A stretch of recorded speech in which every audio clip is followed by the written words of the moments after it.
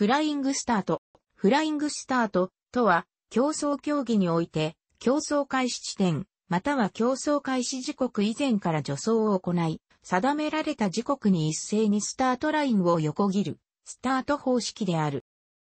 競争開始地点に静止してスタートする、スタンディングスタートや、フォーメーションラップ時の隊列を維持したまま加速して、スタートする、ローリングスタートとは別物である。ヨットレースのスタート方式は、フライングスタート形式である。水面に浮かぶ船舶には静止するためのブレーキはなく、ヨットの場合、加速減速はセールへの風の当て具合で制御しなければならず、また、水面には潮流などがあるため、その場に静止することは不可能である。そのため、レースのスタートでは、スタート基準となるスタートラインをタイミングを合わせて一斉に通過するフライングスタート形式が採用される。このスタート方式は完全静止してのスタートではないため、スタートタイミングの誤差は発生する。風をつかみにくい気象条件下の場合などには、これが数十秒単位の差となることも見られるが、これはスタート技術の差であり、出遅れた側は勝利するためにはその差を取り戻して逆転しなければならない。レースは先行有利であり、このスタートのタイミングを正確に見極める技術は、ヨットンにとっては重要なスキルの一つとなっている。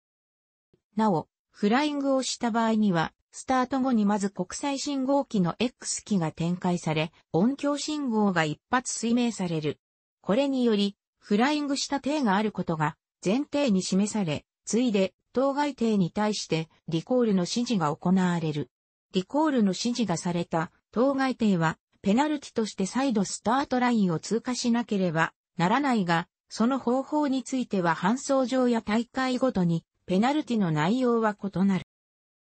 このスタートのペナルティの際の後方には下記の2種類がある。どちらの方法で再スタートを行うかは搬送指示書に指示されており、これに従うことになるが、搬送指示書に明記されていない場合は、ノーペナルティシステムが適用される。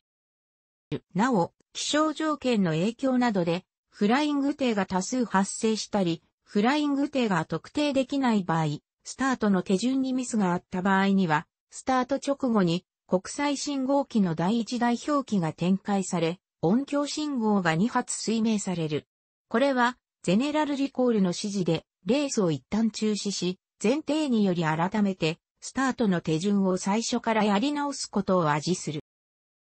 公営競技のうち、協定のスタート方式は、フライングスタート形式である。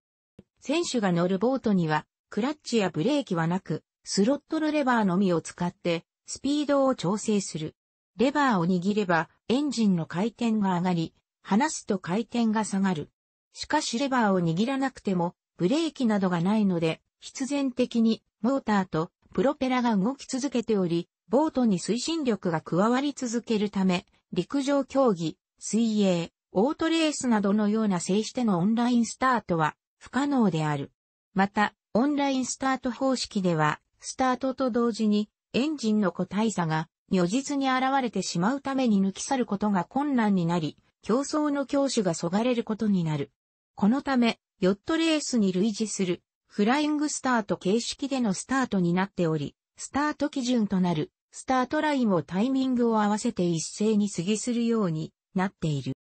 しかし、ペナルティはヨット競技よりもはるかに厳しく、日本の協定においては待機行動から規定のスタート時間よりものいずれかになると、スタート事故として競争除外、欠場となり、その程の絡んだ勝ち船投票権、船券は全額返還、買い戻しになる。実況や協定専門誌などでは、フライングに散るなどと表現される。また、6艇中5艇以上がフライング、またはで遅れをした場合にはレースそのものが中止、不成立となる。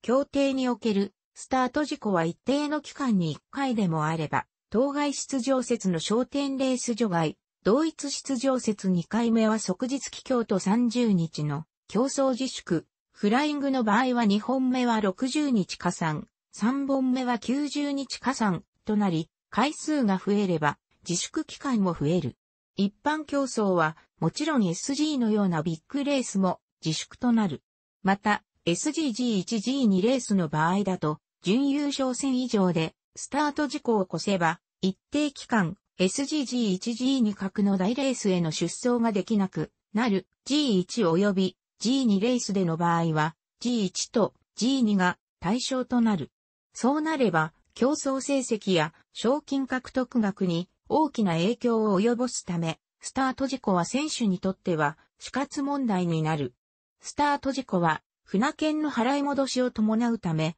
開催の協定上側にとっては損失の発生であり、上位グレードの競争や準優勝戦、優勝戦ではその一室利もまた多額となるため、その罰ということで大きなペナルティとなる。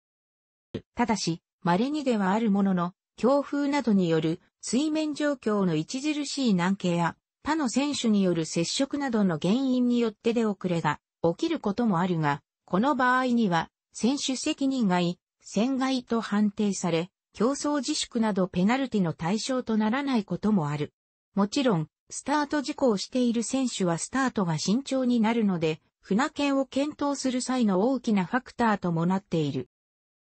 また、アマチュアによって行われる、ボートレース、アマチュア協定、パワーボートレースなどでもスタートは、フライングスタート方式である。この場合にもフライングは、ペナルティの対象で、特に日本におけるアマチュア協定について言えば、公営競技の協定の競技規則をベースにしたルールであるため、やはり競争除外の対象となる。ただし、あくまでアマチュアの競技であることから、プロの協定ほどペナルティは厳しくなく、ペナルティがあっても例えばトーナメント戦の場合に、上位戦への進むができなくなるか、やや厳しくなるという程度で、以降の大会へのペナルティの持ち越しなどはない。楽しくご覧になりましたら、購読と良いです。クリックしてください。